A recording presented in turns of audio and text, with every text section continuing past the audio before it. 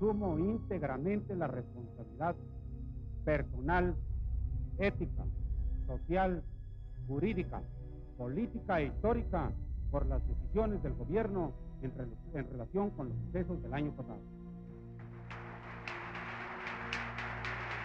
No le diría perdón a nadie porque no siento por qué habrá que pedirlo. Hubo 37 o 38 muertos, muy desgraciadamente muertos. Bueno, pues fue una verdadera tragedia. Pero una tragedia que sucedió, según se sabe, porque los soldados del ejército mexicano fueron agredidos. Es 1968. Es 2 de octubre. Es la Plaza de las Tres Culturas en Tlatelolco.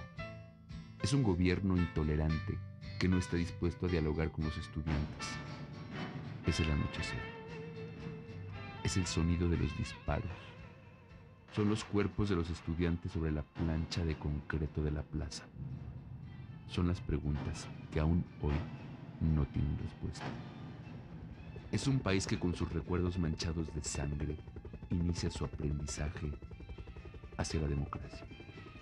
Es 1968 y tenemos en las manos el disco blanco de los Beatles y por las bocinas escuchamos el llanto de las guitarras.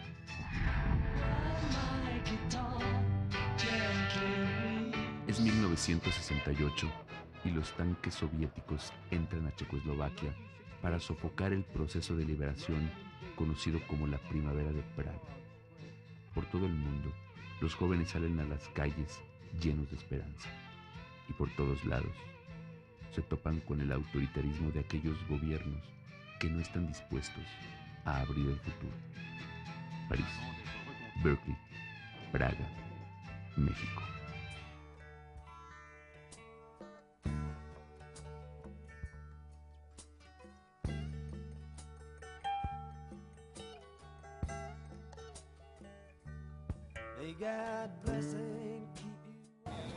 Aquí me traen los recuerdos. En esta plaza perdí todo. Ahora vivo aquí. Soy vagabundo. Técnicamente soy vagabundo porque vivo aquí, no tengo casa. Aquella tarde, aquella tarde, en este lugar, habíamos como dos mil gentes esperando al contingente que venía del Zócalo. La bengala se disparó de ahí. La bengala no la disparó el helicóptero, la bengala era la señal para atacarnos.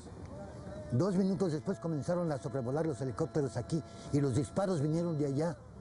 Cuando los disparos vinieron, cerraron la iglesia. Los, que venían del Zócalo corrieron hacia acá pensando que aquí iban a estar seguros. Pero a la bengala entraron las tanquetas, dos tanquetas. Cuando corría la gente para acá, la tanqueta de ahí comenzó a disparar, a ametrallarlos.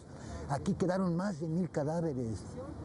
Yo caí ahí, ahí caí herido.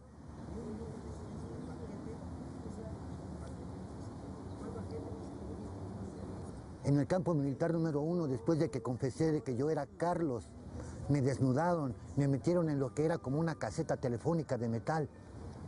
Echaron agua por dentro y luego le pusieron corriente. Es 1968 y las guitarras siguen sonando a llanto. Es 1968. Es el Estadio Olímpico de Ciudad Universitaria y el presidente Gustavo Díaz Ordaz inaugura los Juegos Olímpicos. Aún huele a pólvora. Algunos todavía tienen las manos manchadas de sangre. Es el dolor de un país que quiere aprender a vivir en libertad no debemos de olvidar nunca que para llegar a donde hoy estamos, se han tenido que derramar muchas lágrimas.